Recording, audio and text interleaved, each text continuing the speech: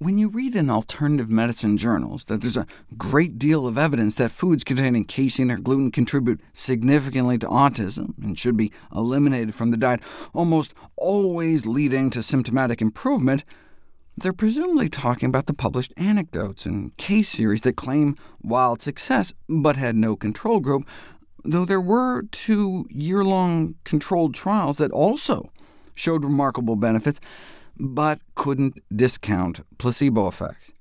The double-blind studies that did control for placebo effects failed to find benefits, but they only lasted a few weeks. This was to be the study to break the logjam, a months-long, double-blind controlled study. They put 14 kids with autism on a gluten-free, casein-free diet for four to six weeks, and then, for the next three months, challenge them every week with double-blind, placebo-controlled food tests, secretly giving them gluten, just gluten, or just casein, or both, or neither, every week, month after month. Here's what happened to each of the 14 kids in terms of their social relationships and their language skills throughout each of the challenges, and bottom line, nothing. No apparent impact on behavioral disturbances or autism-related behaviors. So does that mean case closed? Well, proponents of autism diets might regard the four to six week implementation phase prior to the challenges as too short for the gluten-free, casein-free diet to take full effect. In other words, one could argue this is yet another double-blind study that didn't give the diet long enough time to work. And so maybe the kids were still feeling the effects of gluten and casein they consumed more than a month previously, and so no wonder extra gluten or casein didn't make them even worse. It's possible, I guess, uh, which is why you'll see systematic reviews of the sum total of evidence, like this one published 2017 in the Journal of the American Academy of Pediatrics, concluding that although some studies showed benefits, the data are inadequate to make conclusions either way. In other words, the SOE, the strength of evidence, is considered insufficient to endorse such diets. What's the harm in giving it a try, though?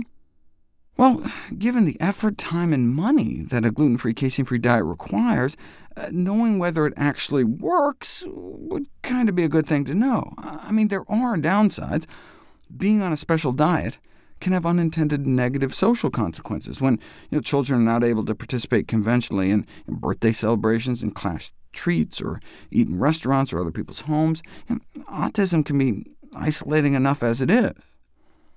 The overall evidence for the effectiveness of these diets is weak, and thus these diets cannot be generally recommended as a treatment, yet parents continue to give it a try, figuring, look, the drugs don't work in terms of helping the core symptoms, so why not just give it a try and leave no stone unturned? I can understand that.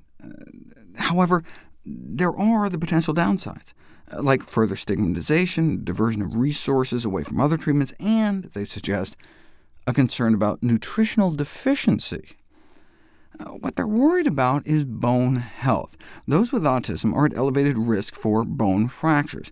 Now, lower bone mineral density in individuals with autism uh, may be due to a variety of factors, lack of vitamin D, uh, chronic use of medications that can weaken bones, lack of weight-bearing exercise, but maybe dietary restrictions play a role. Do children with autism on gluten-free, casein-free diets have lower calcium intake? Yes, in fact, nine times the odds of failing to meet recommended calcium intakes. Does this translate out to reduced bone mass? Maybe so, as those on casein-free diets appear to have less bone development. Now, there's controversy over whether dairy products are the best source of calcium, uh, but that is where most kids are getting their calcium, and so if you remove dairy, you have to replace it with other calcium-rich foods. As the study they cited points out, there's lots of non-dairy sources of calcium, but they only provide calcium if you actually eat them.